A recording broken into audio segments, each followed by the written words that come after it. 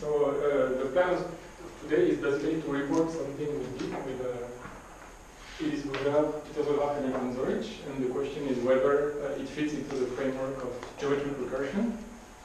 So for the presentation of the talk, I will first make some uh, go start with a geometric recursion, more or less, or some ingredients we saw during the seminar, and then go to what we did uh, computing these volumes. so let me start. So in the paper of Mirzakhani, there are constants that are called BGN, but in the first of the papers, she does not make any link with the Masur-Veech volume, but these are the numbers. So this is the numbers uh, known to study, and I will define them precisely now. And they are very much related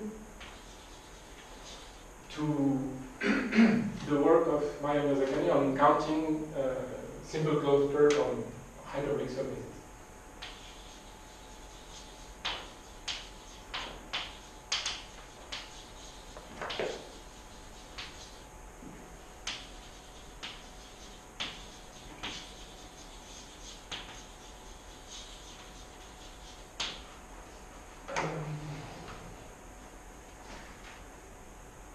Okay, and yeah, and, yeah, you already know I said it, but later on I will forget about this approach and show you another approach to get the, the formula for BGN. Uh, so, uh, let me first start with the Maryam Mirzakhani theorem, or one of them. Uh, so X is a, a Riemann surface So by Riemann surface, I might mean two things, but they are equivalent in the same. It might be a hyperbolic surface of constant curvature minus one, when I want to talk about the distances, distances with respect to this hyperbolic metric. And sometimes I will require the, the conformal structure on the surface, that's the complex structure. Because uh, in the sequel, I will uh, work with quadratic differentials. Uh, and once you have a Riemann surface, you can look at curves on the surface, and among them there are very special curves, uh, the simple one. So um, you pick uh, gamma.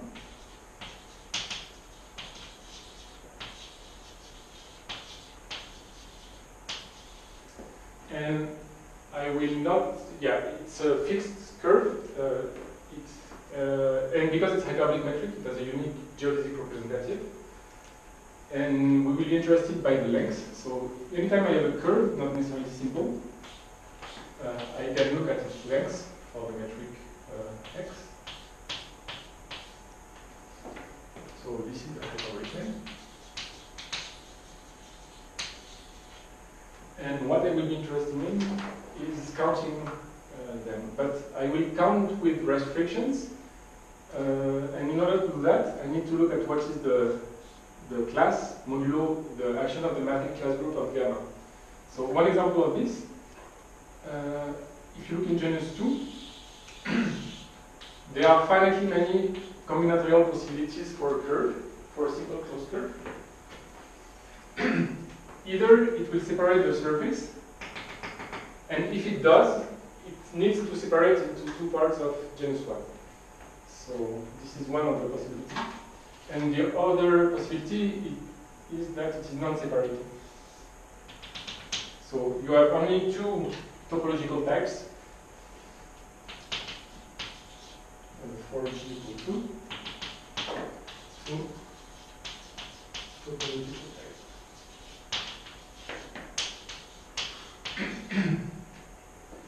which are here. So just separating, non-separating. And if you go to higher genus, you need to tell how many genus you put on each side when it's separated.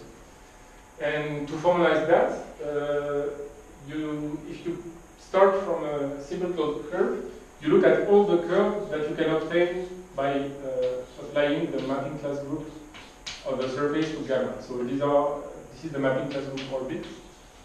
So the orbit under uh, diffeomorphism orbit of gamma. And this is topological type. This is what I mean by topological type, is the orbit under mapping type. And so each time you have a topological type, for example, here separating or non-separating in genus 2, you can count uh, how many of length less than L you have. So S, notation, uh, X. Uh, let me put the gamma here. So this will be the number, sorry, is the number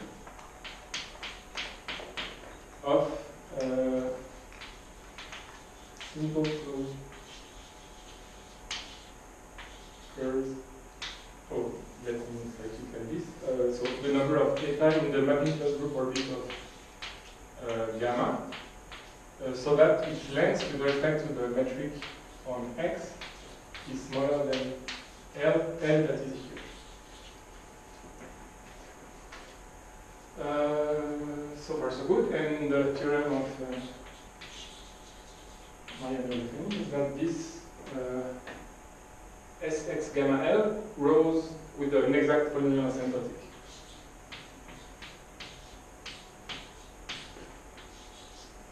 Uh, as I go to infinity. Uh, it's some coefficients that I will call gamma divided by this bgn L to the 6g minus 6 plus 2n. And, oh, sorry, there's a, I forgot something. X appears in the equation.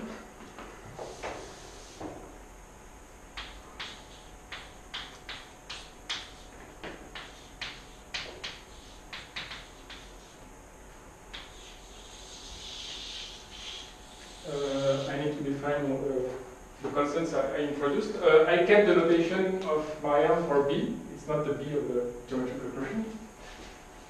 Uh, and actually, uh, BGN will be the integral of x, of this B that is here. So let me explain what is uh, all that. Uh, and C gamma will be a rational number. So uh, where uh, C gamma uh, is uh,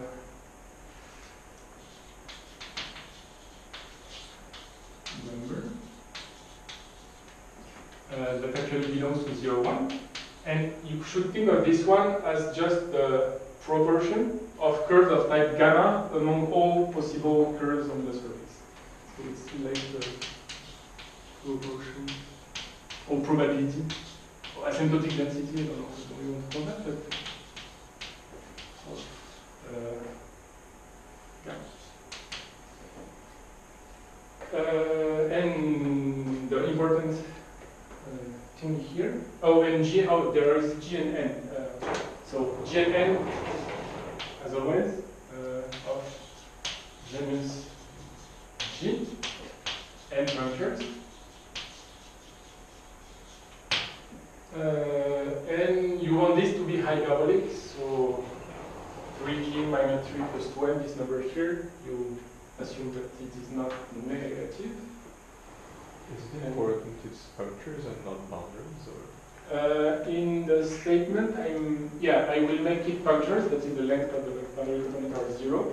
But this theorem is still true, but it's not a BGN that will appear here, that will be a BGN with various Uh-huh. parameters.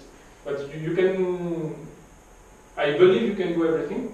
You have to check carefully that this is properly integrable. This is quite plausible. And then that should go out. But I have no idea how to express this number in the KPL That should be, that might be wrong. I did not check carefully. And for the interpretation with the Masur-Veech version that we have, the parameters with the Li are somehow irrelevant. So this is why I will ignore this part. Uh, and B. So to understand who is B, we, I need to introduce, so who is B?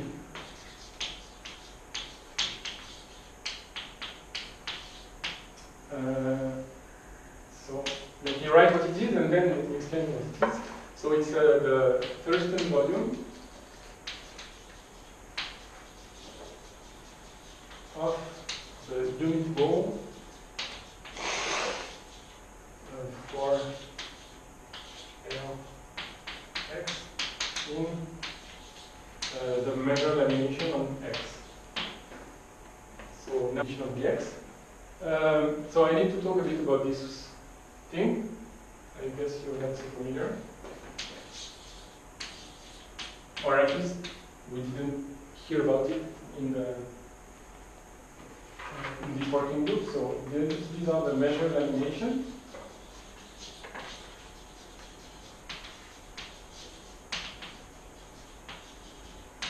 And the best way to think about lamination is uh, it's a nice compactification of simple closed curves. So uh, it's not compactification, but uh, like you you put all simple closed curves into a, a space as nice as you can imagine. So a nice space uh, where. So I will tell you what nice means. A nice space where a simple closed curves are integral points. So before telling you exactly what is this, in the case of the torus with one mark point, so if g equal 1 n equal 1, this nice space is R2, and the simple closed curve are the so-called primitive points uh, in R2. And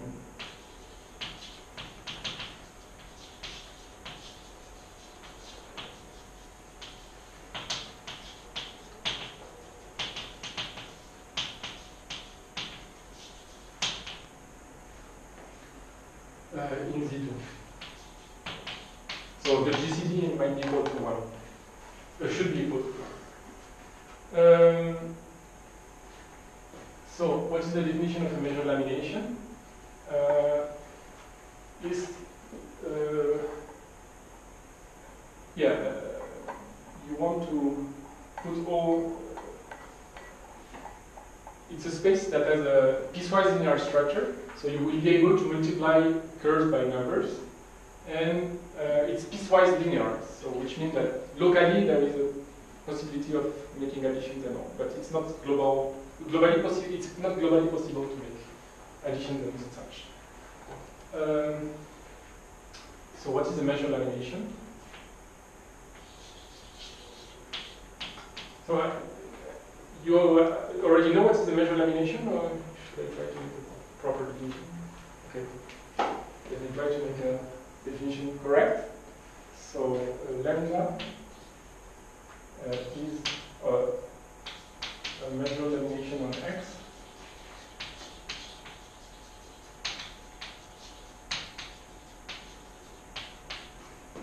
Uh, so it should be with, uh,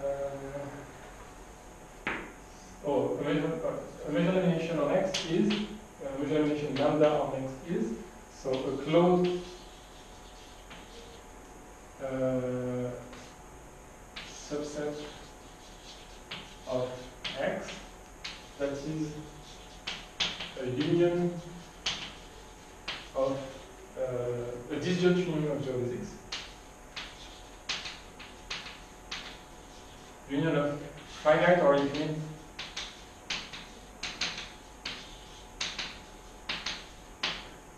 geodesics.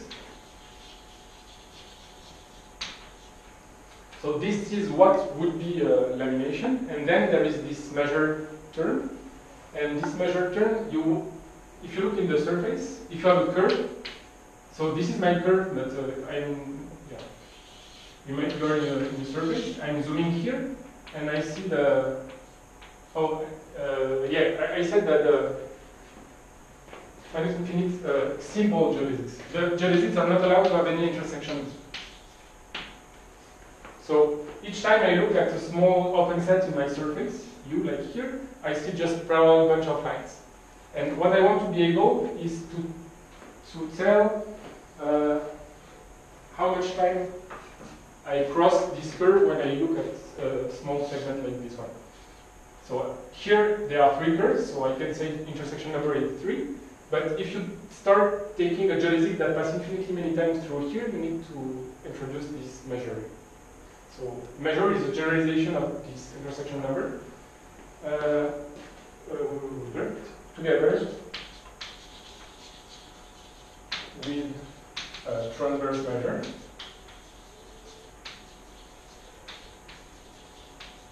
And the transverse measure is just a, a rescaled version of this intersection number. Uh, transversion, that is, uh, for each transverse arc, uh, the transverse measure, let's call it mu. No, mu is bad. Uh, let's call it m. Uh, so what is the transverse measure? So to each uh, to each arc uh, i in x transverse to the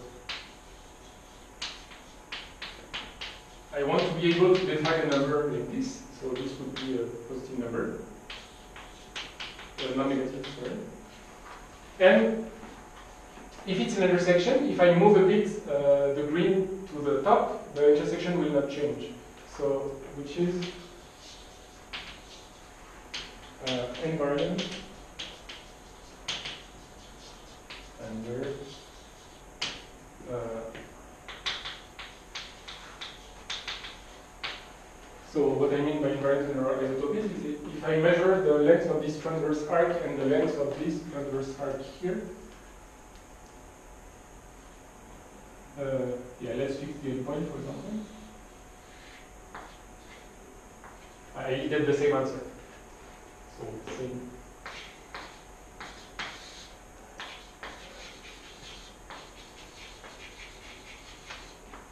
So this tra- transverse measure is just a way of defining how much time you intersect your thing.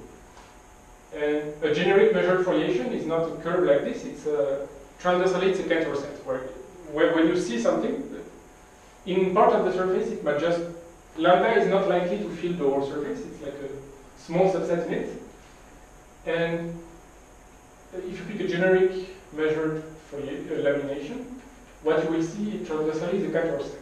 You have plenty of leaves accumulating to each other everywhere. Uh, so far so good. And so if you see the definition like this, you say, ah, that's a leaf, but actually it's very nice. This space has a very nice structure. So uh, in order to be able to, yeah, no need, MLX. So I believe this is due to the Thurston.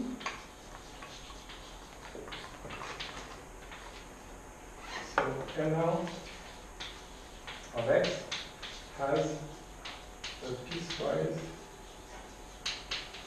a linear, a piecewise, an integral piecewise linear structure, sorry, an integral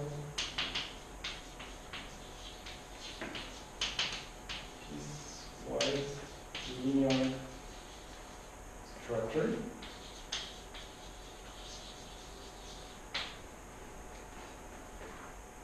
And it's homeomorphic uh, to a to a ball in R 6g minus x uh, 6 plus 2n, the same number here.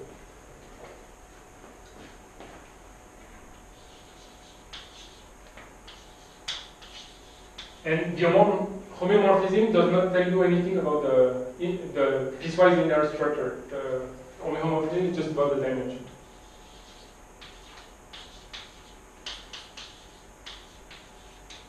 it's a, it's a topological space?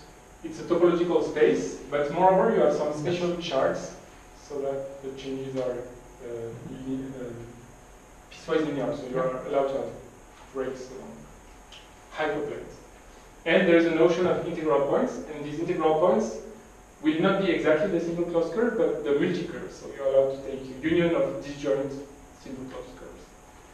Uh, you cannot repeat several, you can repeat several times. Yes, it's, it's the same thing as having a coefficient on your simple closed curve. In, in the case of the James 2 torus, the simple, the primitive points are the front, and when you start taking multiple, you get the whole Yeah. Z2 as integer one. So this is the same phenomenon that appears here. You have the primitive points that when you do not repeat, And when you start repeating, you have a multiple and you fill all integer points, integral points in MLX. Uh, the, are the curves oriented? No. So then your measure is positive. Yes. Uh, this is why it's positive. Yeah, it's a geometric intersection. So it's, uh, It's not algebraic. some kind of quadrant uh, for the torus.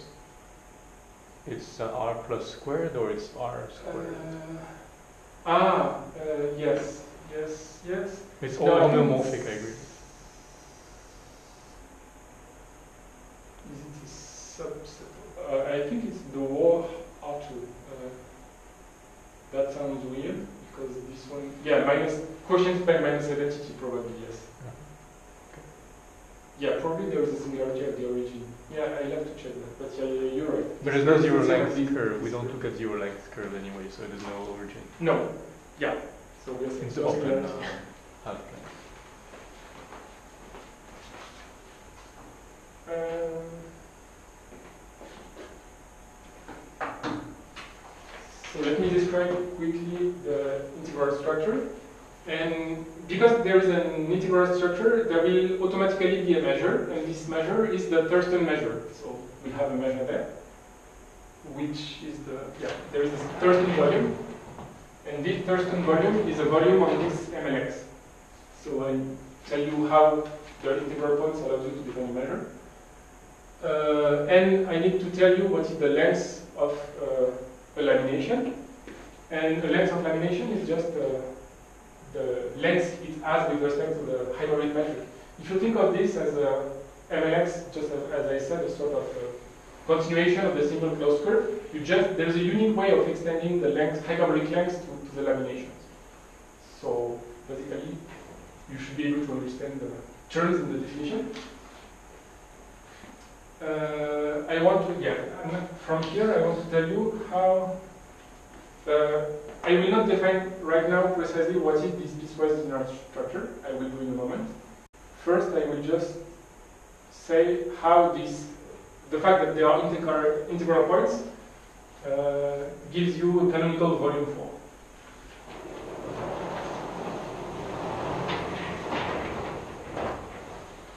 So, because this is very elementary and you know already how it works. Uh, from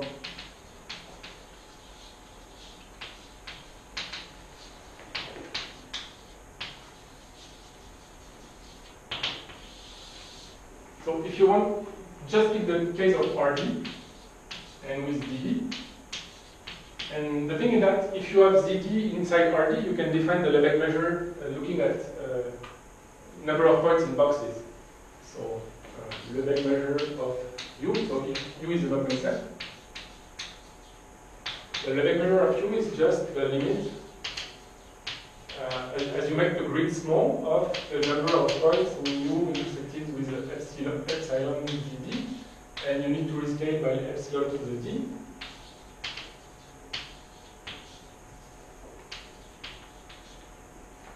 And here you do the same. Because it's piecewise linear, you're allowed to rescale. And if you have an open set in MLX, uh, you just rescale by uh, epsilon. You multiply by epsilon to the dimension, and this gives you a measure. So in MLX, do the same.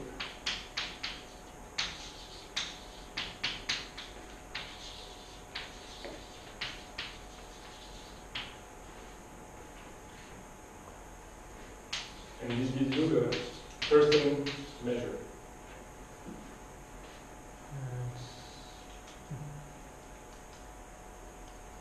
There is something weird.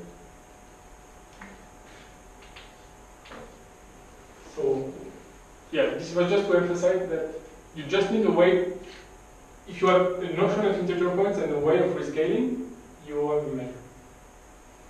This will appear once again later with the quadratic differentials. This is where I'm sort of emphasizing it.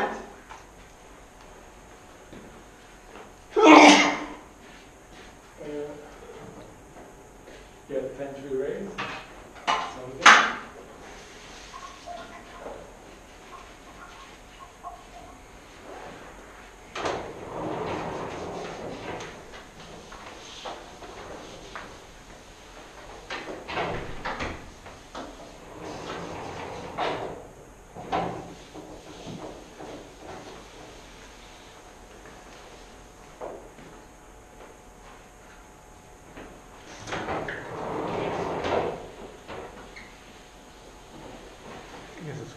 What Paul was doing was not counting lattice point in the moduli space.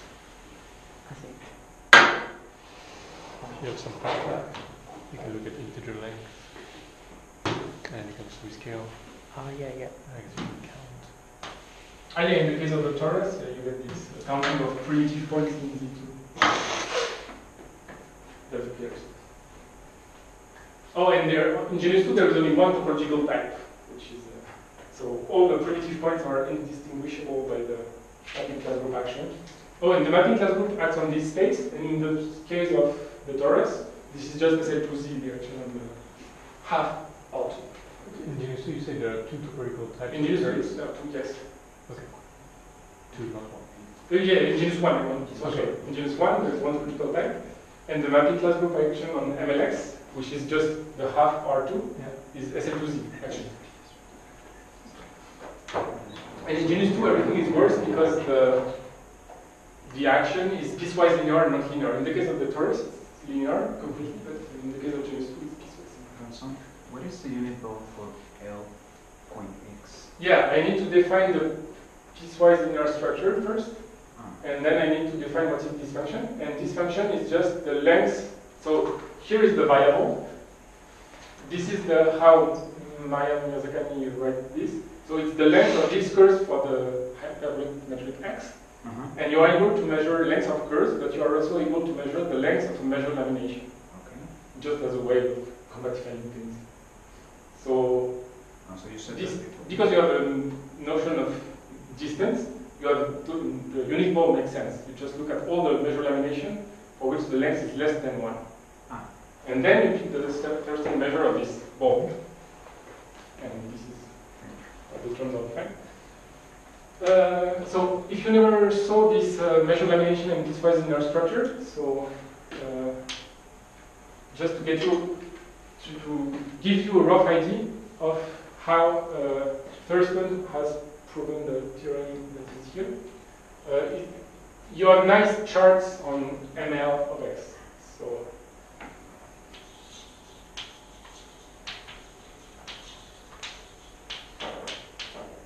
and the charts are just uh, what are what's called the train tracks. Uh, should I try to give an example? Yeah, I did not prepare any examples, so uh, yeah, it might be hard to draw an example in Genus 2 unprepared, sorry. Uh, so what's the train track? It's a graph that will embed in the surface and it will have coordinates, linear coordinates on it. And linear, each point in these linear coordinates will give you one element of this space. Uh, and so you have pieces that are just polytopes uh, here that will be charts for MLX. So this is the simplest way to describe things. So how it works? Uh, so the train track. Now, so there are plenty of topological subtleties with train tracks that I will completely avoid. So basically, what you should know about this is that it's uh, an embedded graph.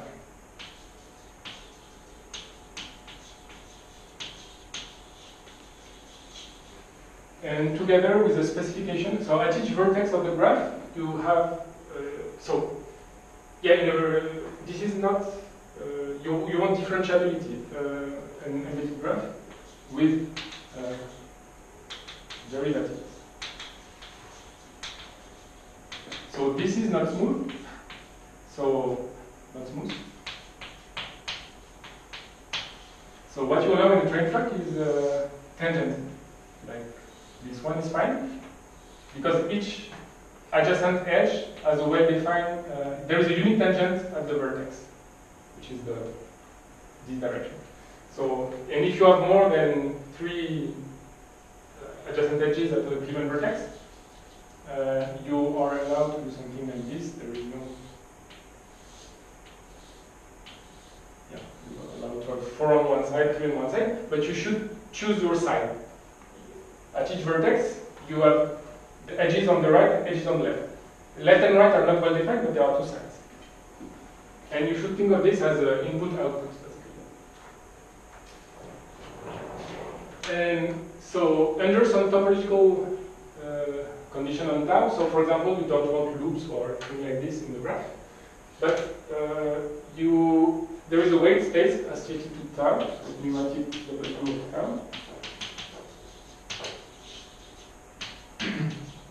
so what you will do, you just uh, think of uh, instead of having edges, you will put uh, like a rectangle on the on each edge. So this is the space of the lambda, and lambda is not innocent. This is the same lambda that is here, but in a coordinate version somehow. So for each edge, you choose. Uh, so e of tau are just the edges of tau. So you choose a positive number for each. Oh, actually, none. Yeah, let me write it like this. It's ambiguous. Um, so you choose a weight, and that satisfies the following condition. Uh, you want the number of elements in the input to match the number of uh, the weights of the output. So uh, for each vertex, you want the sum for uh, e in uh, let's call e in v of lambda e equals the sum e the of lambda e.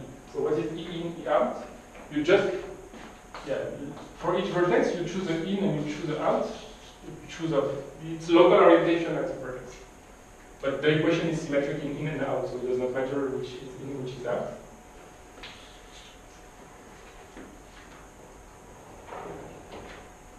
And I claim that each element of the weight space is a measure lamination. And how does it work? Let me do it for integral points in there. So if lambda is in W tau intersected with Z, So I should uh, lambda e be like a vector? it's a vector, yes. So because lambda e indicates just the weight of one edge of the edge e. Oh, sorry.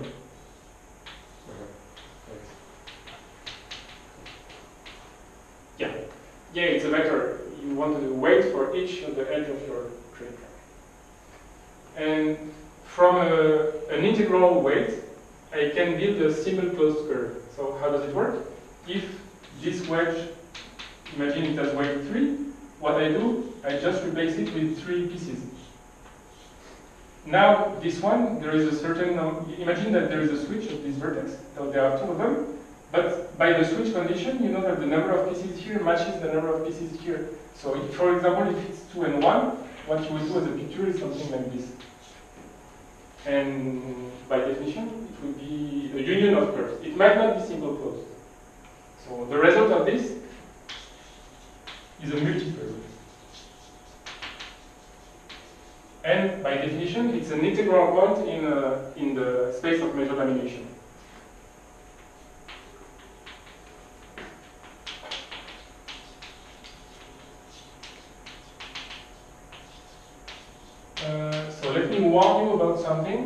When people talk about multi-curve, there are two, two camps, two sides, I don't know to say, uh, that. So uh, ambiguity on terminology.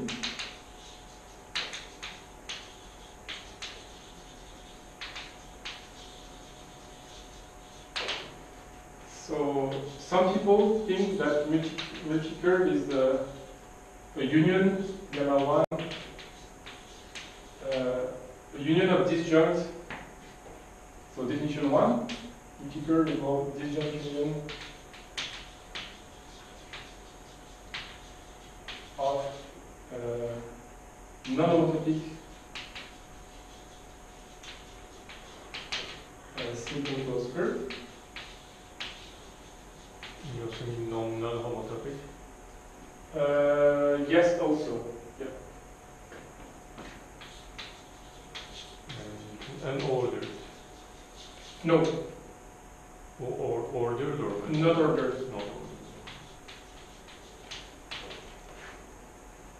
But this is not the, yeah, I'm just mentioning this because sometimes people write multi-curves and things about this. But in my case, this will not be good because if you, yeah, in this definition, if lambda is a weight, 2 lambda is also a weight.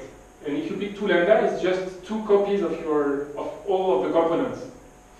So it means that in this definition, uh, it will not work. 2 lambda will not correspond to a multi-curve. So the way to make the definition that works is to pick a multi-curve as a formal sum of either in this definition you're allowed to repeat components, so you remove this non-homotopic, or you think of this as a formal sum of AI gamma i, with AI being um, and the same gamma i. So here allow repetition. And the one we will use is this one. And sometimes people say primitive for this. And what is clear from what I said is that if you pick an integral weight from train track, you obtain a multi-curve in this definition, not in this one. And what is the measure lamination? It's just uh, what you obtain as a picture when you pick a weight that is not integral. One way to say it. And if you want to think of this as a limit of curves, this is possible because you pick your weights, you multiply by 10,000, you pick an integral point very close to it, and then you have a very long curve in your surface, and you divide the intersection, the, you have a transverse measure, and you divide this interse transverse intersection by 1 over uh, 10,000, and you get uh, a very good approximation of your measure lamination. So in this sense, it's a compactification of the curves. So it's a projective compactification. It's a compactification of, the, of the, these uh, formal sums of uh, simple closed curves with rational coefficients. Uh, yes, yes, this is true. Yeah. This is that in the space. Uh, and you see that here on, on this, yeah, here this defines a, a polyhedral cone where I'm able to make sums, and this is what is the piecewise linear structure. On, on this chart, I have well-defined uh, linear structure. And the thing is that if you start gluing together different charts, you'll see that there are things that you are not allowed to, uh, to sum. For example, if you have this uh, simple closed curve here and this simple closed curve here, you are not able to sum them because you would have something with intersection. Every time I have things without intersection. This is some two curves that you would not be able to sum. So this is why it's only piecewise linear. Uh, all right. Good. You know what is the first measure. You know what is ML. So now the definition should be clear. Oh, and this is just, so you know how to measure the length of one curve. If you have this, you know how to define, yeah, I tell you how to define the length of this. So the length of, so if lambda is the sum of ai gamma i with uh, ai rational, or yeah, let, let's do it for a multiple and then everything will scale. The length of this, uh, oops, sorry, for x, is just the sum of the ai lengths of the curve. And then if it's rational coefficient, you kill the denominators and just make 1 over the denominator in this equation. And by density, you have a uniquely well-defined length for measure lamination.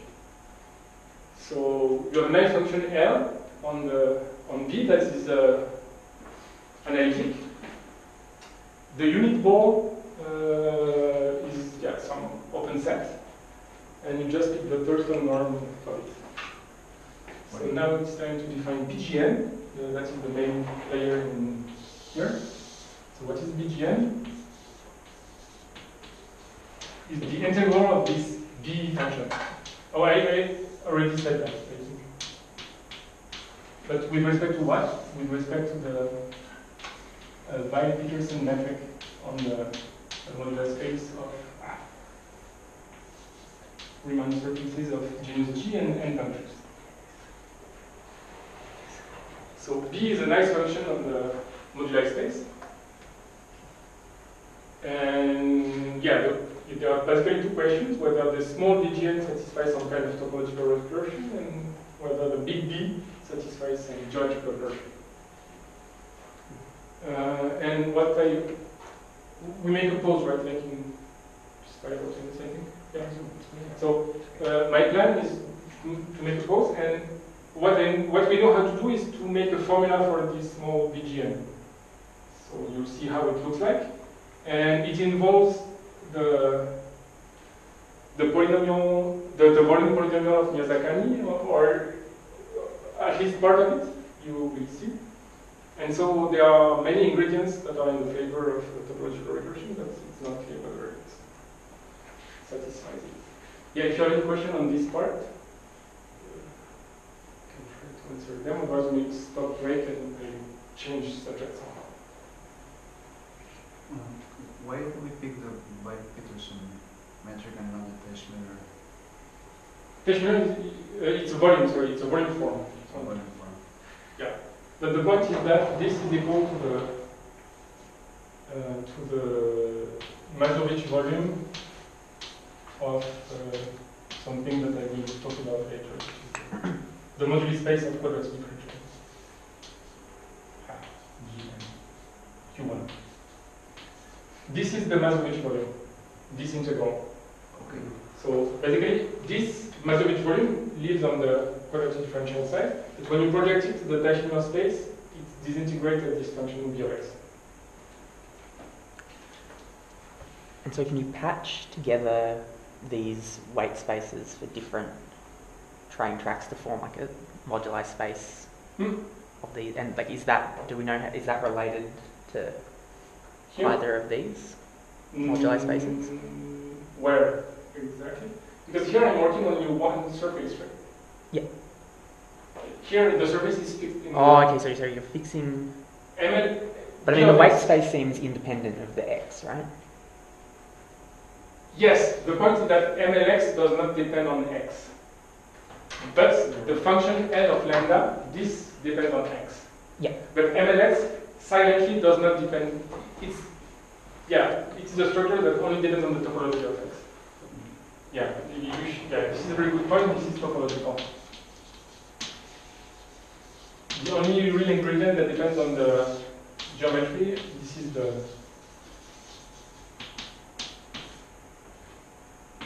yeah. Sorry, in, in the definition of uh, measured lamination, you said that it's a uh, union of geodesics. Yes, which is geometric, but the point is that any, any curve on the surface has a unique geodesic representative. So if you have one lamination on one surface and you change the metric, there is only way, one way to stretch the other one to fit the new metric. So you can pass one from the other. So formally they are not the same, but they are in canonical bijection. And the, that preserves everything, the integral structure and the piecewise linear structure. And yes, you, you see it here on the chart. And so if you quotient, is it, then there's an action of the mapping class group on these Yes. measured laminations, and quotient space, Oh, Is no, there no, quotient there- is no, there is no quotient space because the action is uh, ergodic. I think. This is a theorem of Masur.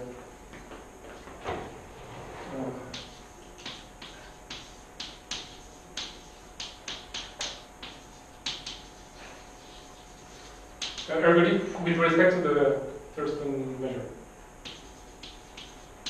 So the action preserves integer points, but if you pick a random point in there, basically its orbit is dense, everywhere dense in this case.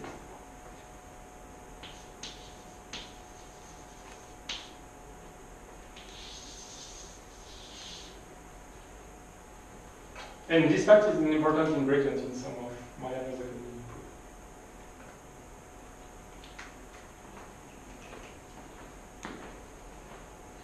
So is MLF, it's a, is it a kind of analog of Teichmüller space?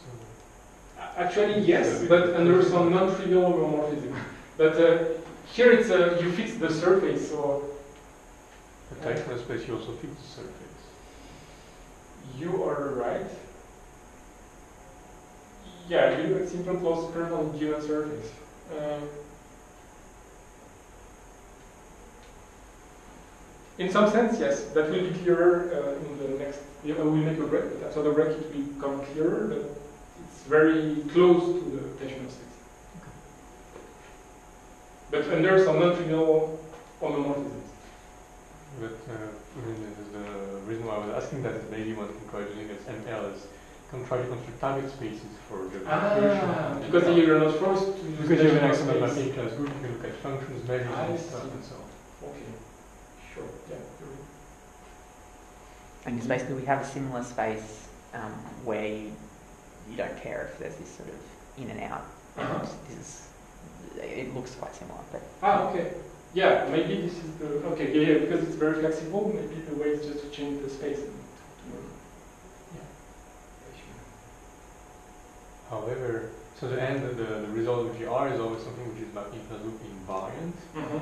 So since your action is ergodic, Mm. I guess it. Uh, There is considers only one lot of function, yes. Yeah, yeah, the problem is that the length is not at all, I think that's what environment. Uh, But, yeah, one, way- one other possibility for target space is this guy, uh, which is just the, and on the top of this, the action is not ergodic anymore. okay, so It's a discrete action. Again, so what? what Uh, this is a second part Ah, yeah. Okay. This is basically, this is roughly ML cross ML with diagonal action. Uh, You need to remove something here. Okay. And when you do that, you have a discrete action of the mapping class group and you can quotient. And, oh, sorry, I wrote Q1 of MGN, so this is already the quotient by the mapping class group. So this is what is. So Q transfer Yeah, Q stands for? And I will explain what I mean. And uh, still a stupid question, is double, is it, can I think that there is an analog of this uh, simultaneous uniformization? Uh, What do you was yours you consider T sigma cross T Yes. sigma bar? Yes. Uh, But in uniformization, yeah, you have two Riemann surfaces that uniformize. Uh, it's a bit different. I think it's the same Riemann surface. Yeah, here you It's the same surface, or the same surface, topological surface, with opposite orientation. Yeah, let me tell you quickly what it is. These are just, so if you have a surface x, you can look at q of x, but for the quadratic differentials, they find on x. But holomorphic quadratic differentials.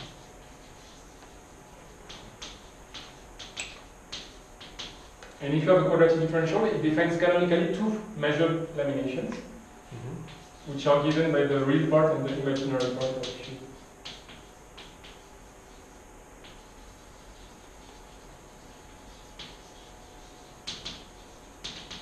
And so this explains this map. If you have a quadratic differential, you look at the real and imaginary part. And yeah, perhaps I could should put something like this. Or the, you need to pick a square root, sorry. But yeah, the real and imaginary part allows you to measure transverse length, and this defines variation, and this is basically how you get product. So you only need two because if you vary the angle, take real part of. But then you get another, yeah, it's a quadratic differential on another Riemann surface. The Riemann surface does change. Mm-hmm. Okay, start again. Okay, so the aim of the second part is to show you a formula for BGN. And because the formula involves the intersection of psi classes that appear in conservative recursion, it's like a hope that is, this will satisfy some kind of topological recursion. And big B might satisfy some uh, geometric recursion. So MGN of B, or let me call it BGN perhaps.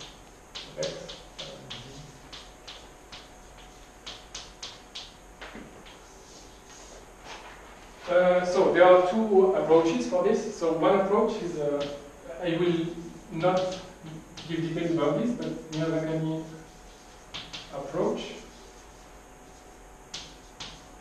So actually, when she computes the integral of one on the moduli space, how does the proof goes? It's very funny. She writes one in a very complicated way uh, with the uh, McShane identities. So this is the integral of ugly sum, which involves plenty of terms. So this is the McShane identity.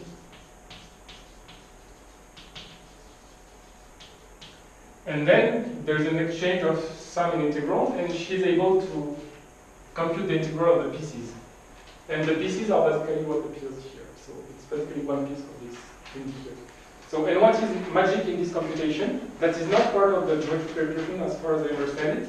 There is a kind of, uh, I don't know, people know that is a kind of uh, Siegel transform. So at some point she's able to transfer some integral uh, into a sum. So let me make it clear. So if you have any function from r plus to r plus, uh, you can transform it into a function of uh, surface. So, uh, or you fix also a, a topological type. So gamma is a given topological type of curve or the multi-curve, multi-curve, topological type of multi-curve. And if you look at f gamma of x, so for x, x in uh, MGN, you define f gamma of x to be the sum over all eta in your class. Perhaps I should write it like this to make it clear that it's a, it's a mapping test board of f of eta. So you just apply the function f to all the curves in your. F of L length eta. Oh, there is a length somewhere. No, there is no length. What is f of eta? Because eta should be a positive number. Oh, yes, thank you. f of L eta of x. Yes, of course. Thank you. All right, and there's a formula in, uh, in her paper that tells you what is the integral of this over mgn in terms of the integral of f. And this is where the magic comes from. Oh, there is no dt anymore. So there is the theorem.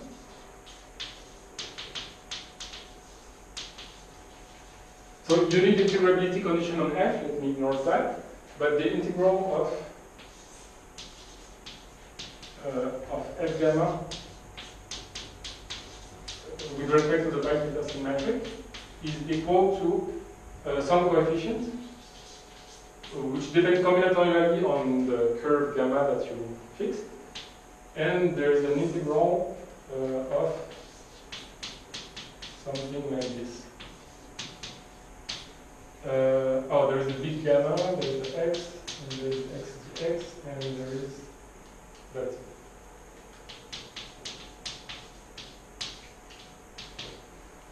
VGN of some volume polynomial.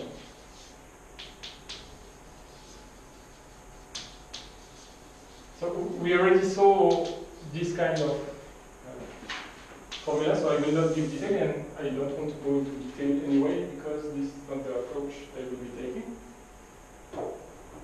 And this is the main ingredient to make the computation, because she has recursion for these polynomials. And then computing an integral with an explicit function is not complicated. So in our case, uh, BGN, uh, you know, it's uh, the unit, unit, yeah, the Thurston measure of unit bulk. But this is not really a function in this sense. But what is BGN? How did I define the measure? I define the measure as a limit of intersection. So BGN of x is actually the limit as L goes to infinity of the number of integer points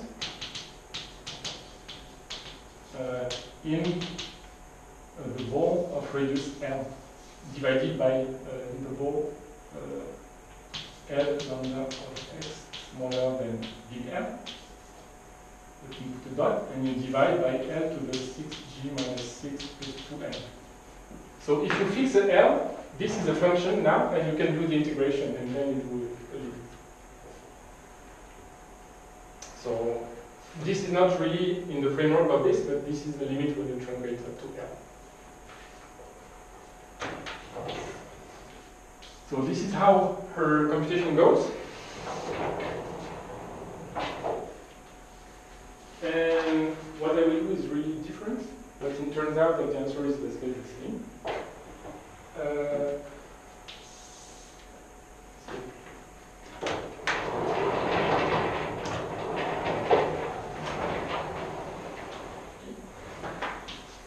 alternative computation.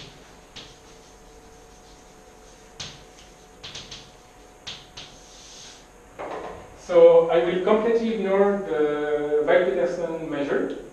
Uh, what I will do is to use the fact that BGN is uh, also the measure of what I denoted Q1 of MGN. So why this? Well, I will define what is this and this, but the reason why uh, these are the same number is not uh, trivial at all, or at least to me. Uh, so this is easy to define. What is this space? So if you have a dimensional space uh, over a given topological surface, this is just this bundle of quadratic differential of holomorphic quadratic differentials. Bundle of holomorphic quadratic differential over Ts.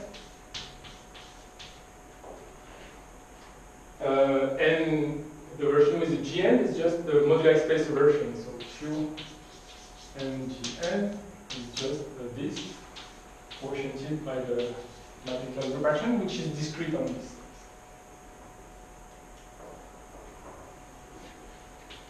Uh, and there is a 1 here, which is important, otherwise the measure is infinite. It's basically, this space is, uh, it's a vector bundle, right? So it doesn't matter. So this is a projectivized version, and this is a canonical measure on this projectivization.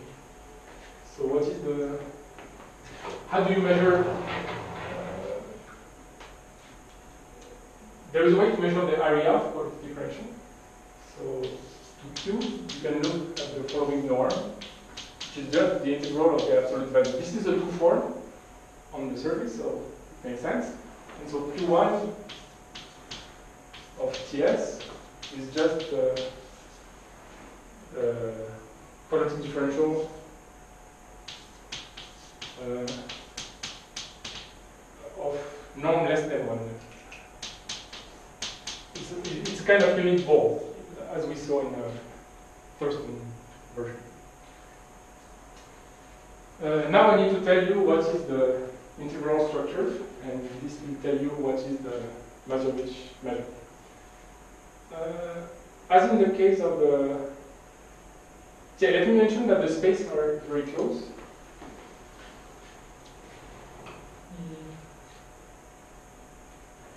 So uh, Q versus uh, ML. So the quality differential. Uh, you need to be careful.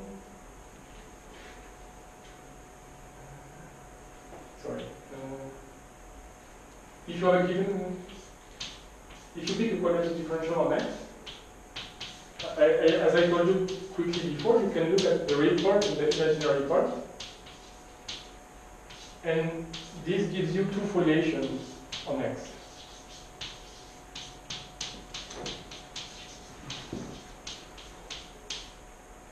Uh, and what is the what are these foliations? Uh, if you look at dz squared, locally what is dz squared? You have a z which is well defined, and you have simply the so this is in, this is not real because when you look at the integral for the imaginary part, you get the number of times you intersect the horizontal.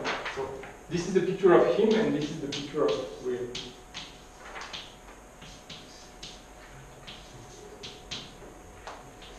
And locally, a quadratic differential is always like this. So this is how it works. But sometimes you have zeros. So what happens at zero? Uh, if you have something like this, which when the differential looks like this, what happens is that you have a picture like this. So this is for one, yeah, for the real part, and for the imaginary part, you have a sort of picture.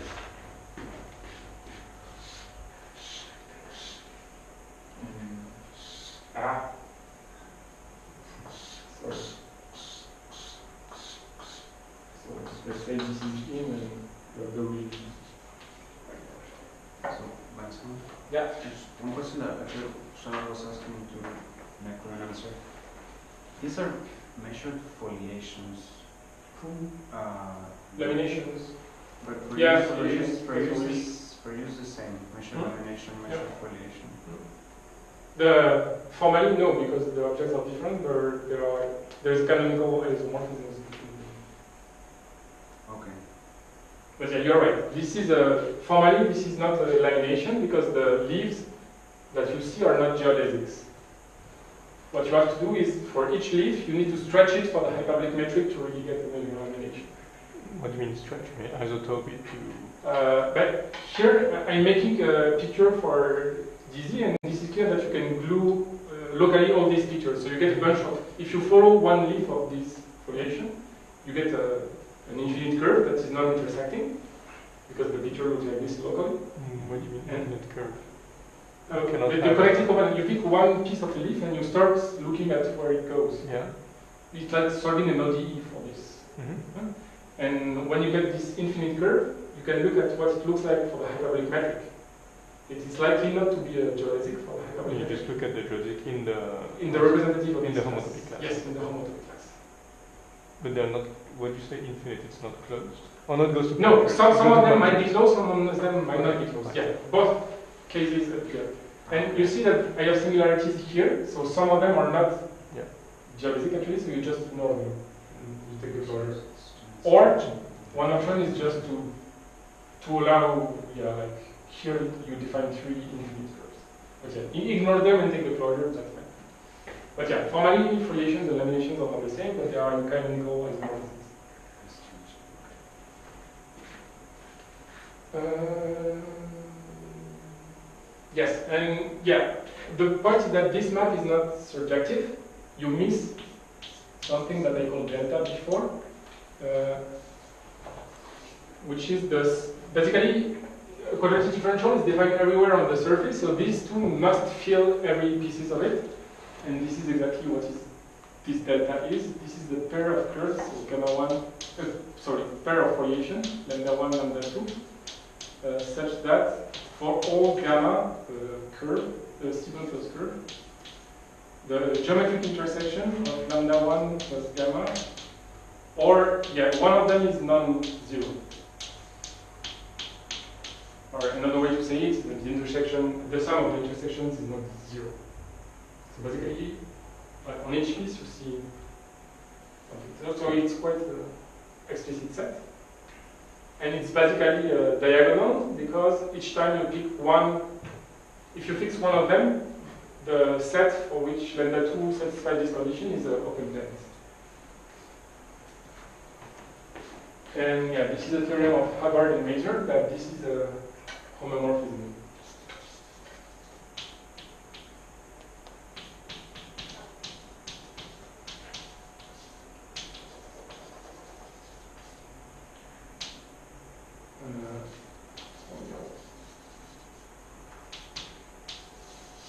Uh, homeo between what and what, sorry. Uh, this is where I need to be here.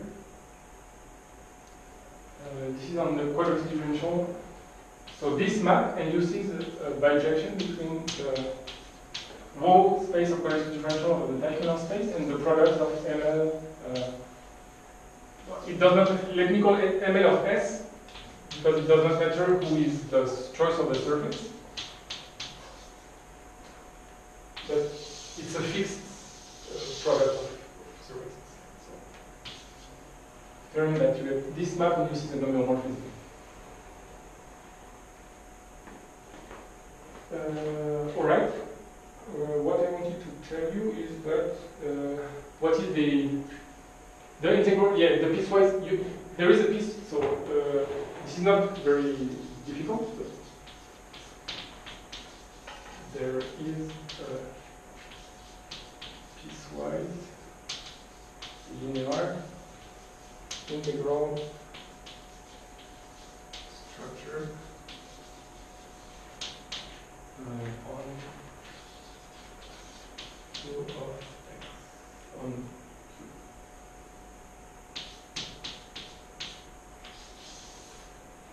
So how does it work? What is an integral point in there? Uh, so one way to define this piecewise linear structure is just to pull back the one that you have on the right. And under this homeomorphism, uh, you see that it's an integral point if and only if you get uh, intersections, uh, you get, uh, so in the, sorry, let's start again. So points there will be just the pre-images of the integral points there. So it means that the image is uh, two multicurves, multicurves in this picture. So the question is, what are the quadratic differentials so that the images are a pair of multicurves? And these are exactly the, what, is, what, what we call the square tile surfaces. So integer points.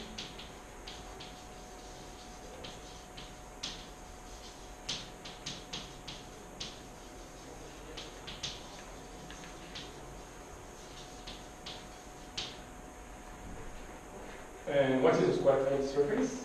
Uh, that you build a surface from squares, but it's not any quadrangulation, so you should really call it square tile surface. There is a condition on the gluings. Uh, you are not allowed to mix uh, horizontal and vertical. So you have squares, but yeah, you, yeah, fix. But the squares have some colors somehow.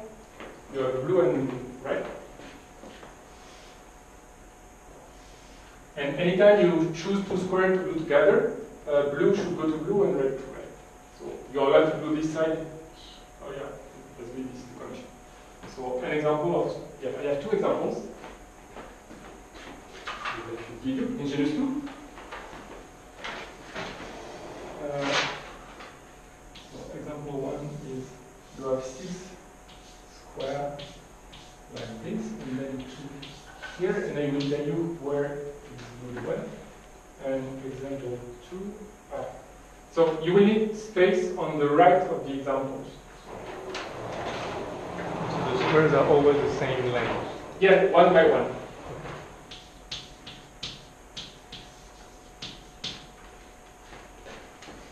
Ah, yeah, it's not clear on my picture, this document.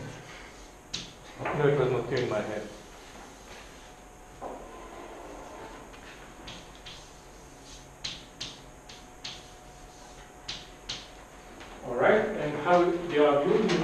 so these are two examples in genus 2. 3, 1, 2, 3. So this is 4 and this is 4. This, oh, sorry, no. These two sides are 4 together and 4 is good here. These two sides is called 6 and is good here. And in between there is a 5 here. Okay? And on the 1,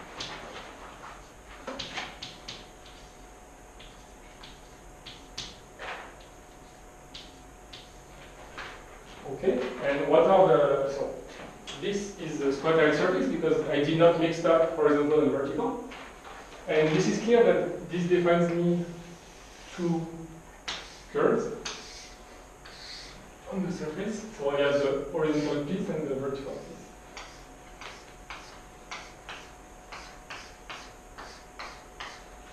Okay, the blue and the red are uh,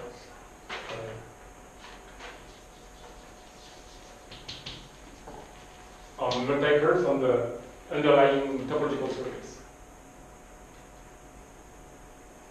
The blue is made of two components. Oh, sorry, uh, the vertical sides are silently glued back uh, in front of them.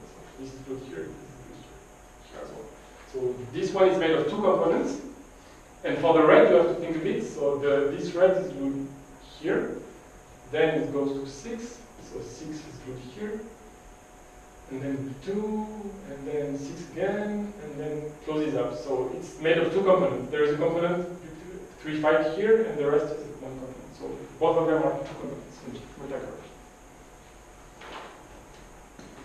Uh, and the point is that uh, similarly to the how is defined the Thurston measure on multi-curves, you can just do counting of these uh, surfaces and get the, the volume of uh, QMGM. So, so these are genus. Yeah, I need to tell you what is the genus and what is the punctures when you start doing things. So the genus is clear, it's a topological thing, so there is no ambiguity. But the number of punctures is very important. So what are the punctures?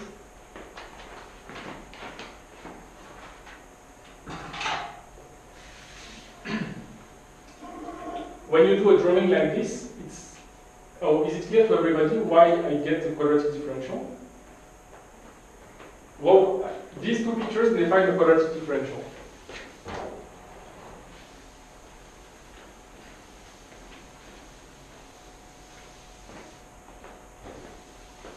Because there is a Hubbard Masur theorem, but you can do otherwise in this situation.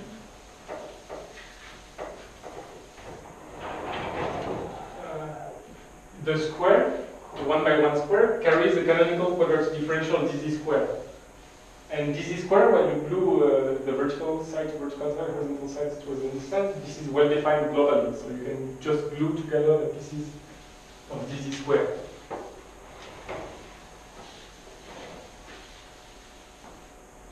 So the two things I draw are two examples of the space of quadratic differentials.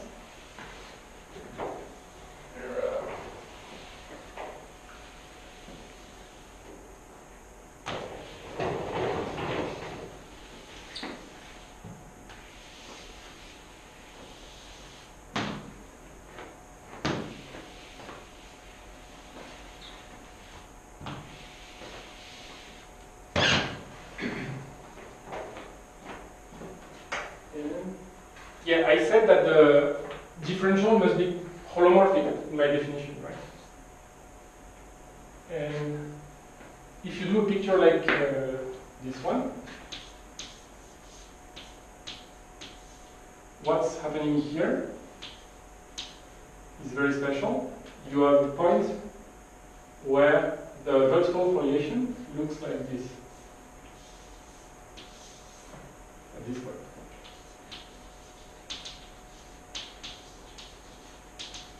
And if you carefully, uh, it means that differential at this point is dz square over z,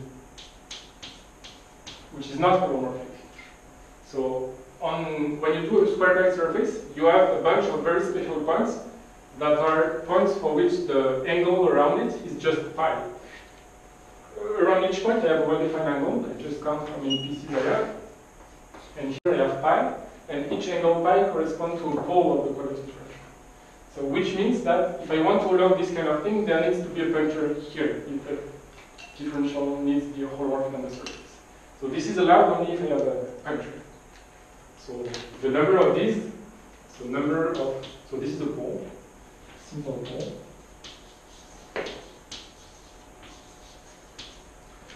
So number of uh, simple pole should be smaller than the number of punctures I, I do have allowed on my surface. Can you maybe break the red? So if you Yeah, yeah, sure. Yeah. For next time. Um, okay. Uh, so I told you about the integer points, and because we have the notion of integer points, we have the notion of the volume. Uh, and this is how we compute basically the volume, is that VGN is the asymptotic number of square tile surfaces uh, with, uh, so the, yeah, the area is just the number of squares, so you just it to the, uh, so there is a normalization factor. So 1 over n to uh, the good power. So what's the good power? Uh, I guess it is the same.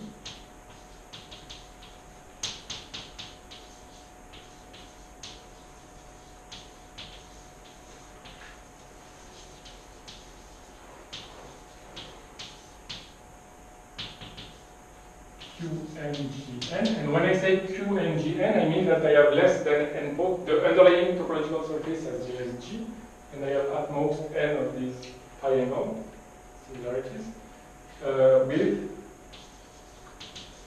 uh, less than n squared.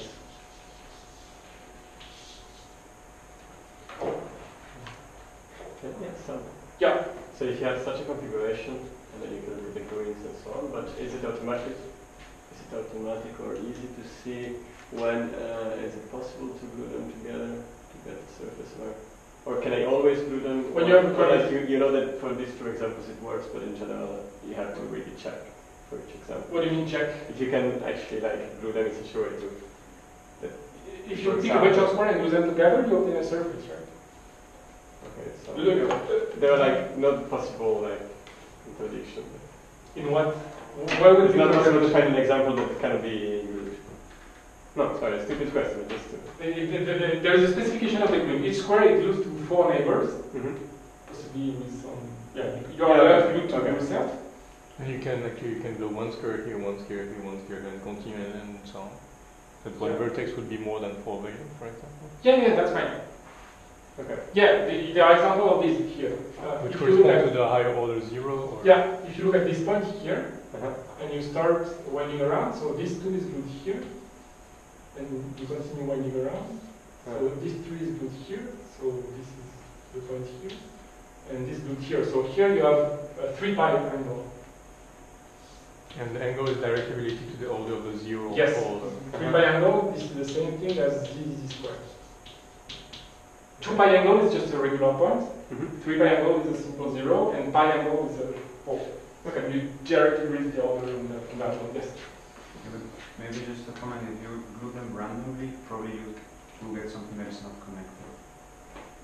I mean, there's a condition on, on how you do things in squares to make it just a bunch of surfaces. Okay. Mm, why not connected? Connected.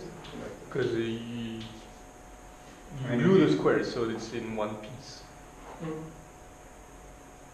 Yeah, you do not start with n squared, but you, you Oh, glue. specification that you have on the But the connectedness, you, you should check. If you a picture, you should check whether it's connected or not. Okay. Uh, so this is the starting point for our computation. Just that the number, the Masur-Veech volume, is just the limit of this square tile surface count. Uh, and then from here, uh, there is a, a way to make uh, packets or yeah for Clusters? Hmm? Clusters? clusters, yes.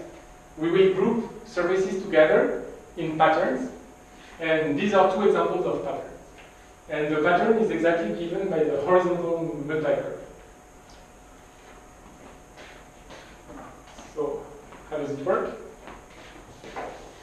Oh, this is how you prove the relation that uh, Yeah, yeah, because uh, in our computation, the contribution of one cluster is exactly given by the topological configuration of the multiplier. So here what I want to do is just uh, look at, oh, I forgot my color, look at blue. And what does it mean, look at blue? I mean, uh, consider what it is as a topological configuration. So in the very same way, so I did not told you much about Mirzakhani computation, but it's basically the same. So I will consider the blue curve as a multi-curve on the topological surface, and I want to know what it looks like. And in order to know what it looks like, I need to understand uh, what are the so it's what are the pieces in between and what are the genus.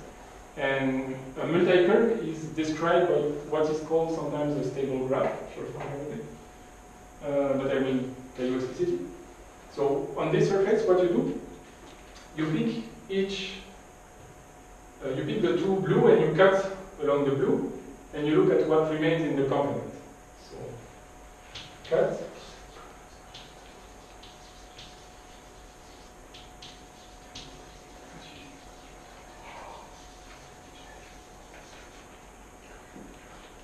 So what would be the complement? And the complement is just a ribbon graph.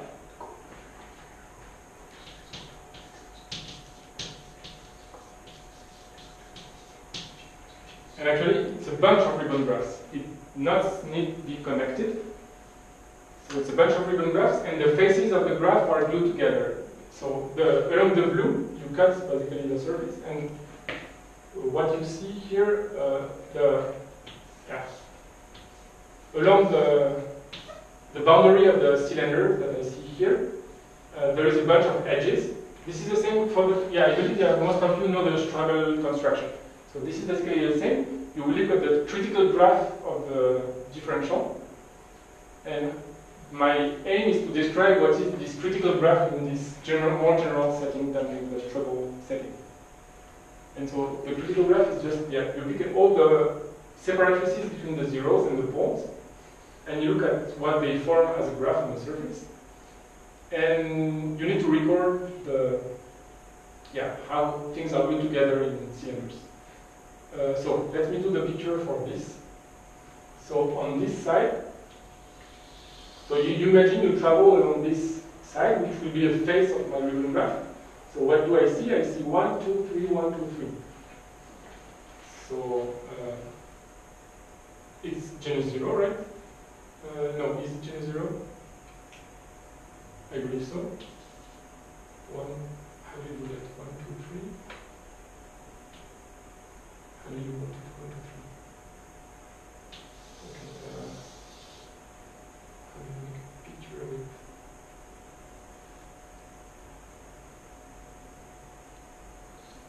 Uh, this should be a tree on the sphere.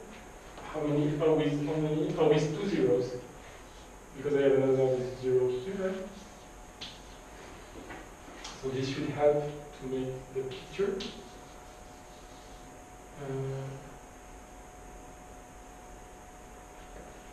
and in between, so this should be this picture here. But here I have three faces and not one, so this is weird. Ah, what am I wrong? Should I have prepared more carefully an example? So what, what do you want, what uh, will be the vertices, what will be the faces? The vertices will be the, verti the singularities of my differential. So here I have two points on the boundary. And the edges are just the horizontal edges of my differential. Mhm. And the faces will be the half cylinders. So this Uh-huh. is a face. Isn't it a, a, a genus one graph? It might be genus one graph, which explains that why I'm not able to draw it on the sphere. Uh, one, ah, two, and then you do something like this. Yeah, maybe that's it. So you see one, two, three, and around you should see one, two, three, and three. So one of them is one, another one is three. And when you read the face of this graph, you should see one, two, three, one, two, three, which is this. Yeah, I believe I wrote that it's genus one, but I did not make the. Oh, I lost my example. No, it's not that. Uh, yeah, there is a genus one component. Uh, yeah, with one face. So g equal one, n equal one. On this. Oh, this is not, sorry. Let, let me call it g1 and 1. On this example, I have two components. There, I have the green component, that is the one I just draw, which is this part of the of the picture. With, with one face, which is this half cylinder, and then all the rest is one graph. Um, ah. So this is another graph, and this one is on the sphere. So this is the picture of the green. Sorry. So this is the green graph.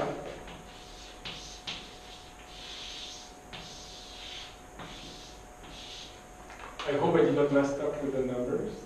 I think it's correct. Uh, and uh, the yellow graph, what it looks like. So you have three faces, which are the three half cylinders. Uh, and what are the vertices? So there is one vertex starting here. Let me look at this. So this four is good here. Uh, and then this is the same point as here because these are identified. And this is the same point as uh, here. And 5 is good here. So this is one of the vertex.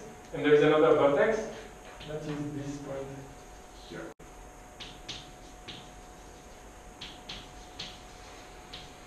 So you have a the yellow part is a ribbon graph with two vertices as well, but with three faces and genus zero.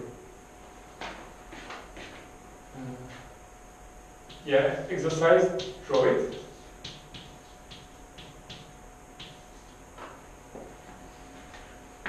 And the point is that I, I will completely ignore the ribbon graphs they will come up when I will want to do the counting, but what I want to record is not the precise structure of the ribbon graphs, it's just the way they are connected together.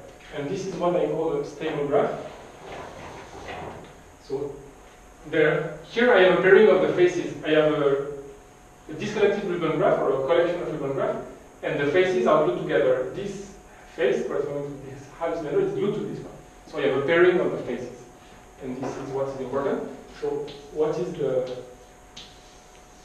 the graph? I have genus 1, one face, genus 0, three faces, and the edges of my graph, so each component is a part of the, a connected component of the boundary, and I will draw edges uh, when I have faces that connect. So the balance is exactly given by the number of faces, and here you have no choice, it's blue like. So this is my stable graph.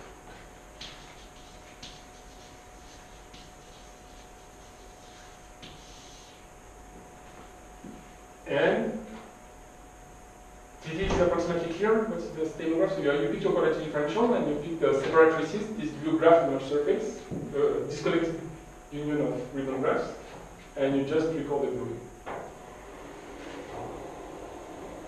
And here you can do the exercise and you get 0, 4 with two handles. So another stable graph. And the theorem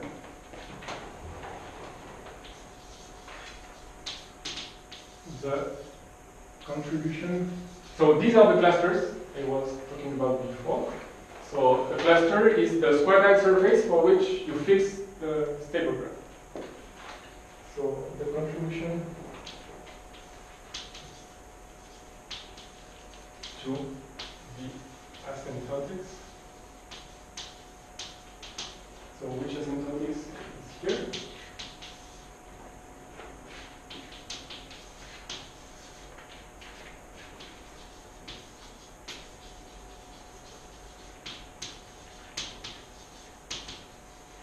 And this is where there is an explicit formula. Uh, and then you will have to sum over all the, the graphs. But already for one given graph, it's not very fancy. So there is a combinatorial factor that I will just avoid. So there is a combinatorial, so uh, each cluster, so the cluster is given by a graph. And what is a graph is just something like this. And if you want to describe it, it's very simple uh, at each vertex you have a given genus and a given number of, uh, yeah, the degree of the vertex basically. And the genus of the graph should be 2 if you are doing genus 2. And the genus is the sum of the genera in the vertices plus the number of loops. So because each loop here we contribute 1 to the genus when we it back. Uh, okay, the contribution of each cluster, you have a formula. So there is a coefficient that combinatorially depends on gamma. This is the rational number. And what is important is this fancy uh, thing. So you need to do, this is a transformation on polynomials. So there will be a polynomial in the parentheses. And z is an operator that takes each monomial and converts it into a zeta value. So there's a product over edges. So the so I, have, I will have a polynomial whose variables are indexed by the edges of my graph uh, gamma. My graph, uh, stable graph, gamma is a stable graph, as here. And then you get the famous polynomial, Kontsevich polynomials. So these are the ones I was talking about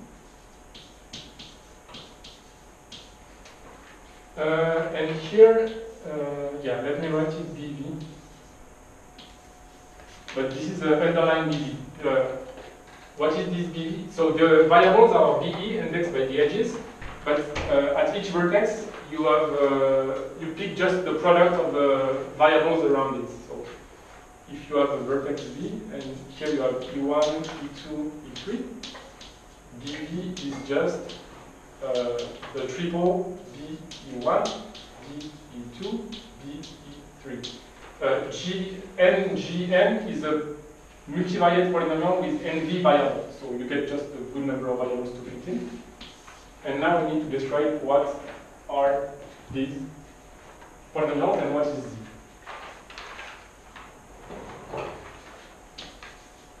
n g n of b1 bn. So this is a Kontsevich polynomials.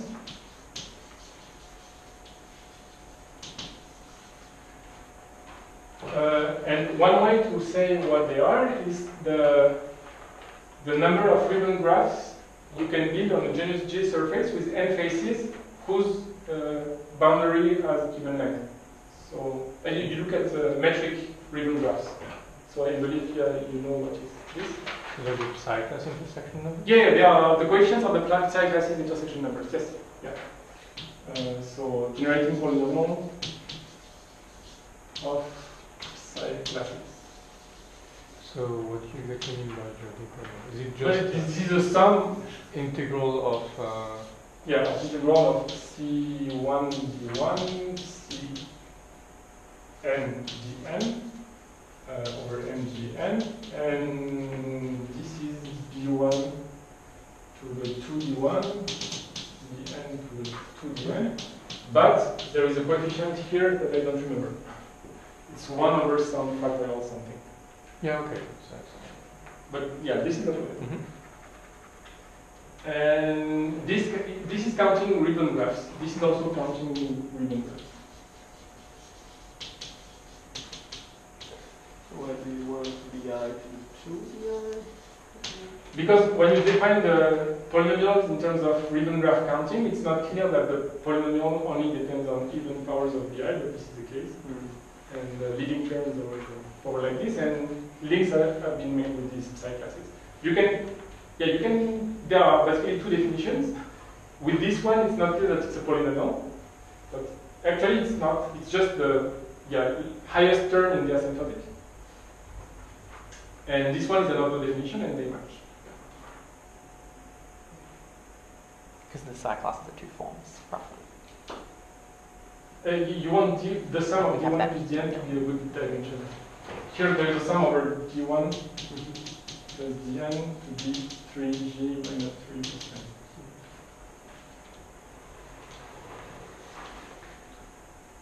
Uh, right.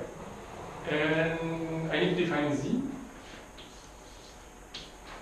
And z is very simple. If you each time you see a variable to the power mi, you just transform it to mi factorial zeta of mi plus 1.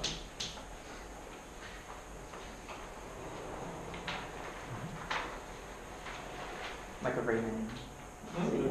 zeta. The zeta is a zeta function. Yeah, the Riemann zeta. Yeah, yeah, yeah. And these are, oh, yeah. Ju- let me just remark that the numbers that appear here will always be even. Uh, the Mhm. monomials that appear in this formula are always odd, which makes m minus 1 to be even, and so this is a rational multiple of pi at the end. And because here you have a product of this ngn, what you get, if you not write this as rational numbers, you get the polynomials in the in the psi classes, which is a bit strange in this context. But this number, yeah, is a polynomial in the psi classes. So it doesn't read with another variable BI. No, no, no, z, z kills all the variables. Yeah, yeah, but it, it kills them in a way that, that do not depend on the label of the. No, no, no, no, you forget about the labels at the end. Yes. The labels is relevant here, but otherwise. It's a bit like in a like a change of basis, because if you work over Q, Yeah. there's some powers of pi which are all uh, algebraically independent. Yeah, but when you start taking products, it does not work. Right. And here, Yes, yeah, you okay. have products here. Yes. But you're right, at the level of vector spaces, it does, yeah. Mhm. Yeah, yeah. And this coef is just automorphism, one over automorphism group of the table Uh, yes, yes, so some factorial depending on the genus and all that, and uh, the automorphism group of the graph, yes.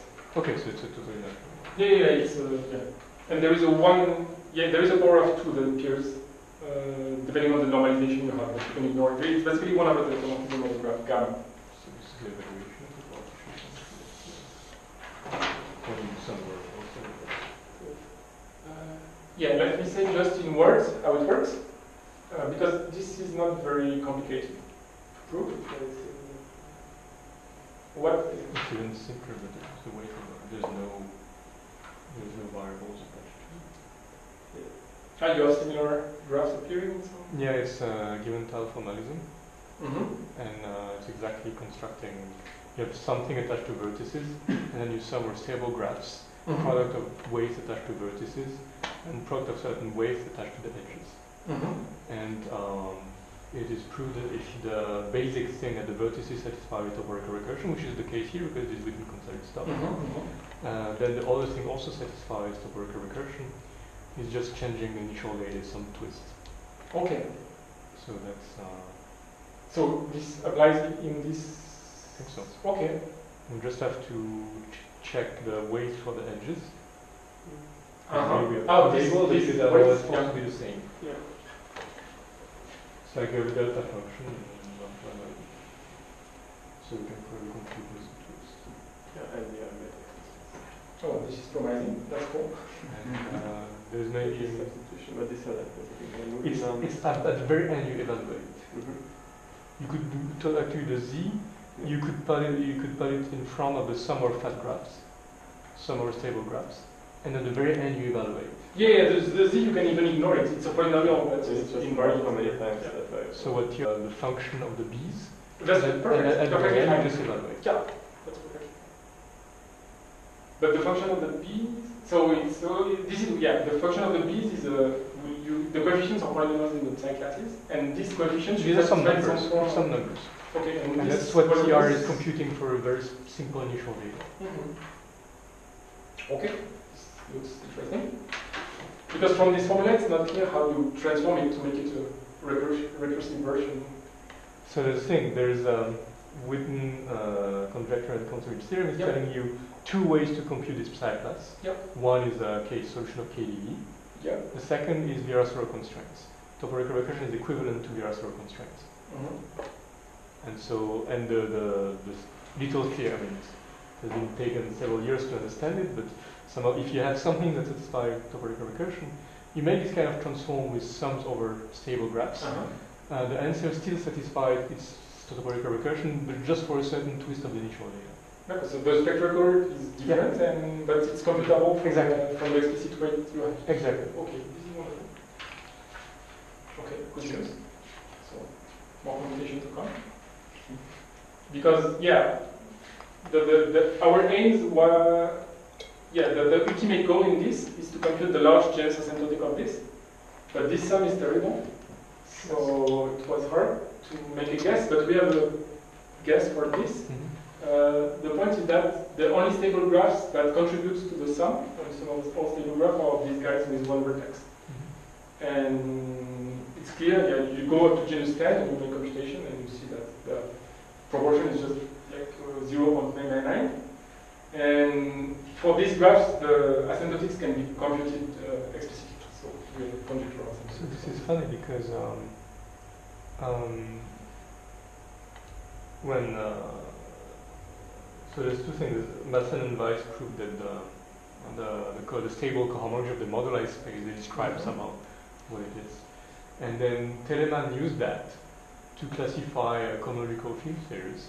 Mhm. And somehow in this work, a note has been a bit taken by Mulase and Dumitrescu, they're trying to do something, but somehow you have this big group which is acting on the cohomological field theories, which are cohomologically factorized factorize nicely at the boundary. And part of this group is exactly this transform over stable graphs. Uh-huh. And if you want somehow to prove this kind of classification theorem that anything can be obtained by this type of action plus some other things, uh, somehow you seem to use one graph which is infinite, which has one vertex. Uh-huh. Of okay. I don't know if this is related to what Oh, to the fact that it will genus that it contributes only in a, in a genus. Hmm. This is not clear. Hmm.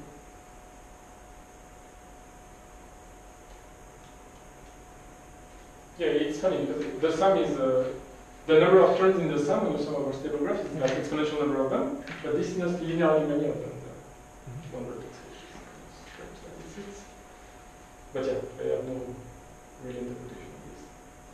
Even on the geometric side, I don't even know how to relate this. Be interesting. Okay, I think I'm done here.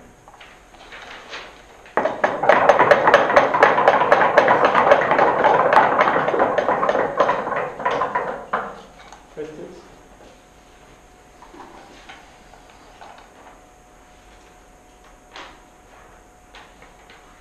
So I wanted to ask, do you know a way to? It's not clear. Maybe you, you said this, but do you know a way to compute this BGN explicitly? Do you know? This is a way to compute them. Okay, but is it I effective? mean, what do you mean effective? you, making the list of stable graphs is something which is doable. Computing the psi classes is also doable, and then you make a big sum. And with this, I think I can go to genus 8, something like this, perhaps. Something like this, and number of punctures in genus 0 up to 15. Oh, in genus 0, the, the formula is just wonderfully explicit and very simple. So this coefficient uh, associated to uh, capital gamma is is not. It's just trivial, it's just automorph- one over automorphism of gamma. okay. And this is just- But up to now, you don't know if this BGN satisfies No, uh, a recursion. No, no, no, no, not at all.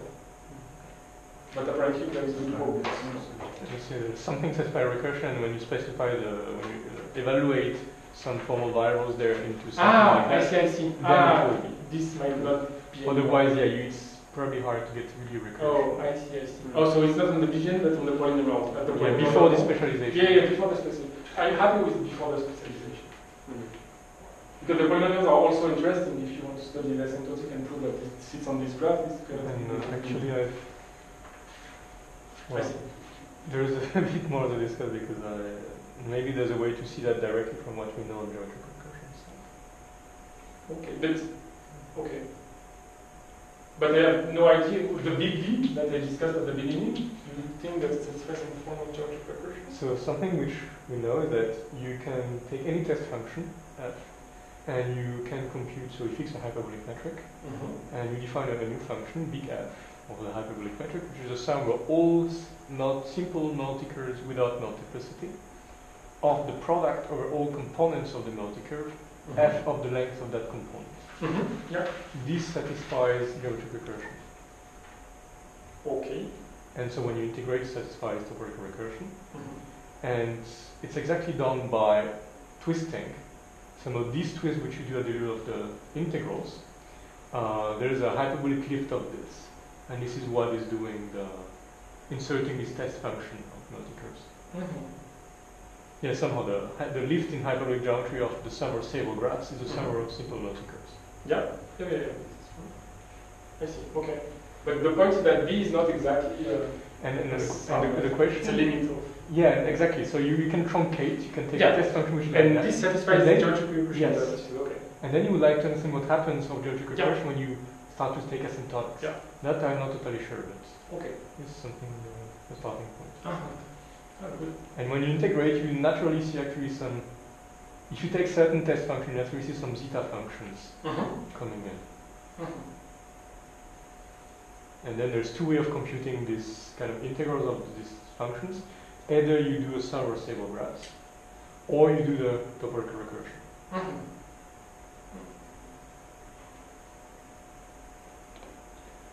Do you remember the formula from genus 0?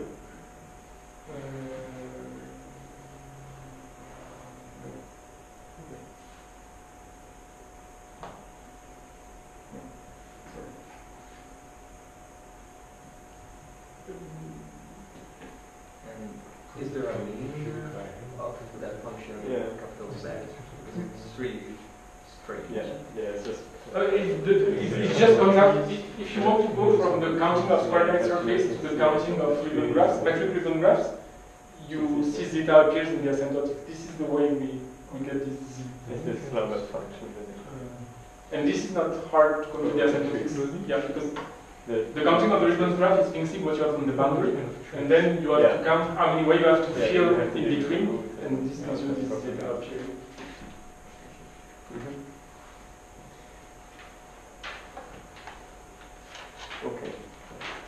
The speaker again?